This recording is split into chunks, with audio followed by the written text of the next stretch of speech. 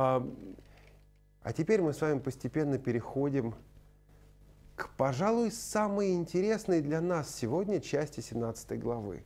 Это посещение Павлом а, и его соратниками Афин. Они разделяются, силы Тимофея остаются остаются у моря, а Павел, Павел отправляется в Афины, а потом он должен будет встретиться с Силой, Силой и Тимофеем, но пока он оказывается один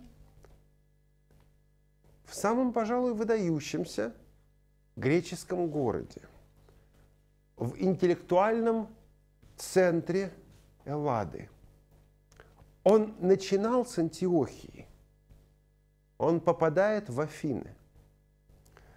Греция в тот момент была в очень интересном положении. Это была колыбель западной культуры – постепенно приходящая к своему упадку. Это была страна, интересная прежде всего своим прошлым. От сказаний Гомера, Илиады, Одиссея, где боги активно и более чем активно, олимпийские боги, участвовали в жизни этой земли, где богиню можно было рассердить, где один из олимпийцев или одна из олимпиек покровительствовали одной стране конфликта, а другие другой стране конфликта, где боги ссорились между собой прямо как люди. Это родина поэм Гесиода, одна из них Теогония, происхождение богов.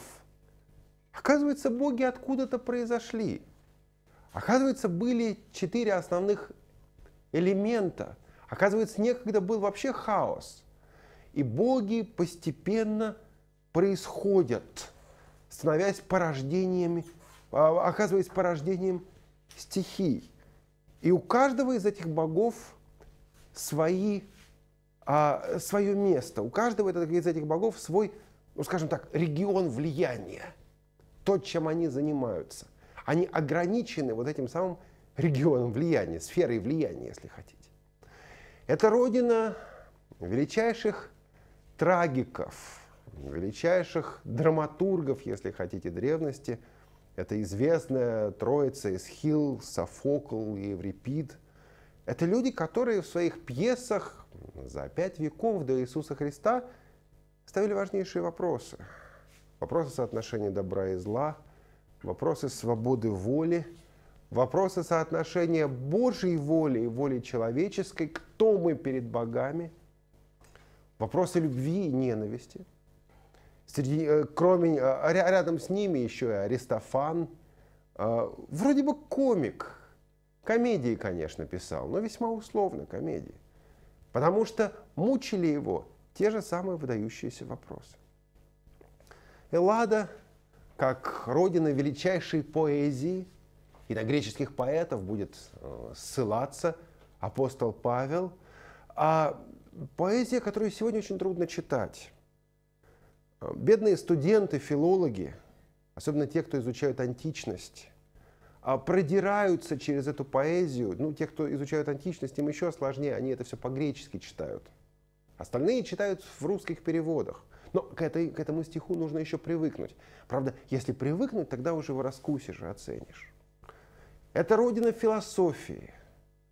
Это родина э, Сократа, Платона.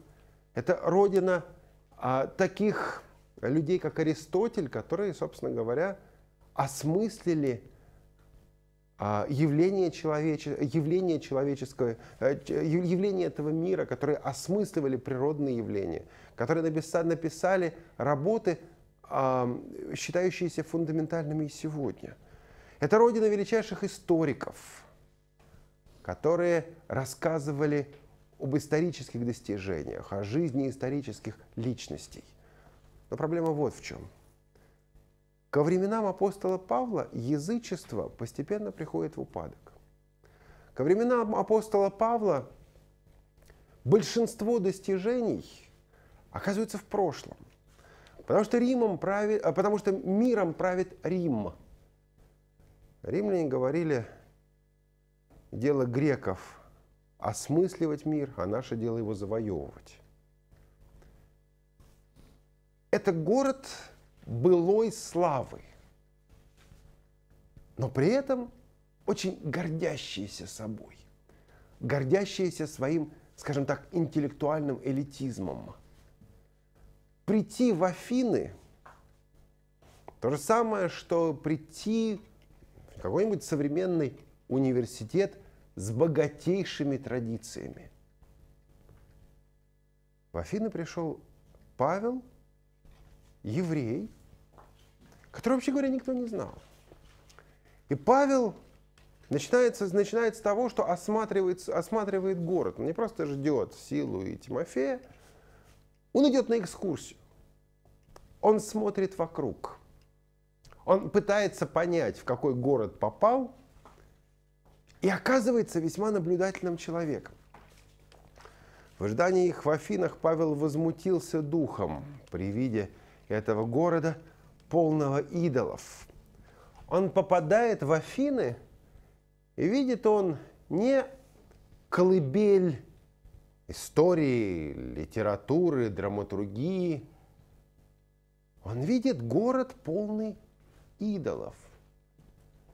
Ему, человеку из иудеев, человеку, привыкшему к монотеизму, к единобожию, ну, становится, мягко говоря, не по себе. Но обратите, пожалуйста, внимание, что потом, разговаривая э, с афининами, с афинскими философами в Ареопаге, он не скажет им, какое, какое безобразие. Почему у вас столько идолов? Вот я пришел и возмутился, увидев ваш город. Он начнет с другого. Он скажет, я вижу, что вы набожные. Набожные люди – и объяснит это свое утверждение. Но вернемся к 17 стиху. И так он рассуждал в синагоге с иудеями и чтущими Бога. Опять-таки ничего нового в этом нет. Эту, эту часть его стратегии мы уже видели. Ежедневно на площади со встречающимися. Он выходит на улицу, он выходит на площадь, он начинает говорить с людьми. А некоторые из эпикурейских и стоических философов стали спорить с ним – Одни говорили, что хочет сказать этот, этот суеслов или пустослов, а другие, кажется, он проповедует о чужих божествах, потому что он благовествовал им Иисуса и воскресение. Вот здесь мы можем с вами одну вещь не заметить. Первое, первое высказывание, что хочет сказать этот суеслов, явно негативное. Второе высказывание – Кажется, он проповедует о чужих божествах. На самом деле, с точки зрения афинян, это вполне позитивное высказывание. Вот у римлян, э, извините, извините, пожалуйста, вот у иудеев было, было такое ограничение, э, они отлично это усвоили за время Вавилонского плена, что чужих, о чужих божествах проповедовать нельзя. У римлян это выглядело по-другому. В принципе, можно о божествах говорить, если они на Цезаре, на Кесаре не покушаются. Афиняне были людьми открытыми. Почему? Это мы узнаем очень скоро. Афиняне были готовы услышать разговор о чужих божествах. Им это было интересно, хотя ради собственного образования, хотя бы ради собственного образования. Конечно, эти божества были рангом ниже собственных, но все же божества. Именно поэтому вот, э, понимание вот этого момента э, помогает нам понять связь с 19 стихом. Им стало интересно, потому что он зацепил их в этот самый момент. Они готовы были слышать о, о чужих божествах. Они только не знали, что этот Бог единственным окажется. Тут они, конечно, обломились. И взяв его, привели в Ареопаг и говорили, можем ли мы знать, что это за новое учение, проповедуемое тобою. Ибо что-то странное ты влагаешь в уши наши. Посему хотим знать, что это такое. Афиняне же все и живущие у них иностранцы ни в чем охотнее не проводили время, как в том, чтобы говорить и слушать что-нибудь новое. Вот о чужих божествах, да без проблем. Новое учение легко. Давай, мы хотим услышать. И встав, Павел среди Ареопага сказал, Афиняне, по всему вижу я, что вы как бы особенно набожны. Ибо проходя и осматривая ваши святыни, я нашел и жертвенник, на котором написано «неведомому Богу». Я напоминаю то, о чем говорил коротко минут пять назад. С точки зрения греков, мир был поделен на сферы влияния различных богов. Греку для того, чтобы быть счастливым, для того, чтобы его, его предприятия имели успех, надо было следить за тем, чтобы не прогневывать ни одного бога. А богов было много. Чтобы еще лучше было, надо следить, чтобы, надо следить, чтобы жертвы приносились всем богам. И эти люди серьезно боялись, а вдруг мы кого-то забудем? А вдруг появится еще какой-то бог, который скажет «а мне?» В сознании грека боги как э, малые дети, которые такие, знаете, «а мне конфетку?» «а мне игрушку?» «А почему мне не купили?» «Вау!» И все. Если Бог разгневается, будет очень плохо. Потому и поставили Афиняне жертвенник на всякий случай неведомому Богу, неведомому Богу. Мы не знаем, Боже, как тебя зовут. Мы не знаем, кто ты такой. Но на всякий случай, рядом с другими богами, мы тоже поставим тебе жертвенник. Как-то мне довелось беседовать с одним индуистом.